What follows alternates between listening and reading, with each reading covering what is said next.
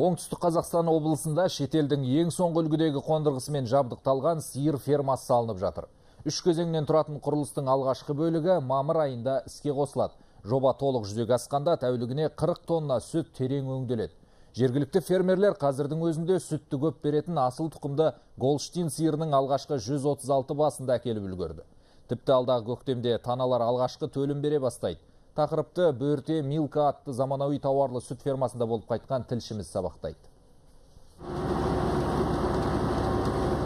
Венгриядан әкелінген таналар қазір біртіндеп жергілікті жердің ауа райына үйретіліп жатыр. Голландияның қарала сиырлары қорен және сүтті көп береді. Күтімі жақсы болған соң біртіндеп жерсін келеді дейді шаруалар.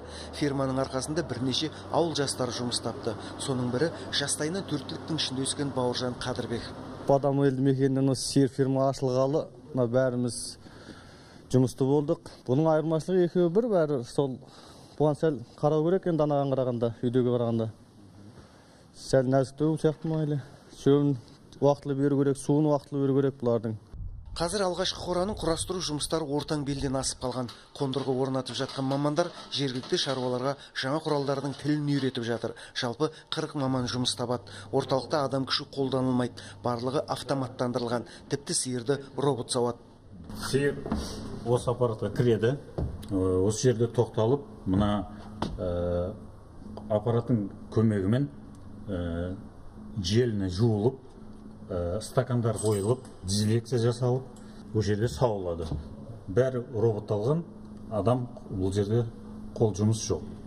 Қорадағы әрбір сиырдың аяғына арнайы сақина орнатылады. Қондырғы ірі қараның жай күйін жасын тіпті әрбір басқан қадамын бақылап компьютерге ақпарат беріп отырады. Мал сырқаттанып не сүті сұйылып кетсе жеке бақылауға алынады. Ала сиырлар өзге мал сияқты өріске жіберілмейді. Сондықтан қорада оларға барлық жағдай жасалынған. Жем мен суы өз алдына бөлек беріледі. Тіпті жатын жерлері бар. Сиырлар мына сияқты ортада тұрған щеткаларға келіп қасына да алады. Егер іштегі ауа температурасы қатты ысып кететін болса қабырғасы түсіріліп мына сияқты қондырғылардың көмегімен су бүркіледі. Сонда іштегі ауа райы бір қалыпты сақталады. Фермада қазір екі бірдей қораның құрылысы бітуге жақын. Тағы осындай екі нысан бой көтереді. Ол жерлерге 700 бас сиыр әкелінеді. Сонда жыл 12 сүт сауылатын болады. Шаруашылықтың тағы бір ерекшелігі малға қажетті жем шөпті өздері егіп алады. Инфрақұрылымның барлығын өкімет бізге тартып әкеліп берді. Ендігі жерде біз қазір өз ақшамызға салып жатырмыз. Бірақ жаңағы біткеннен кейін мына мемлекеттік комиссияға қабылдап алғаннан кейін бізге 20 процент субсидирование болады.